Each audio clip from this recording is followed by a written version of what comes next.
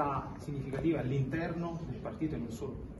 Ah, sicuramente c'è l'impegno di eh, addivenire a una soluzione il prima possibile, ce lo chiedono i trentini, ce lo chiedono le attività economiche e quindi io confido insomma, che nelle prossime giornate, eh, più che settimane, si possa veramente chiudere la questione e Dio ce la mandi buona.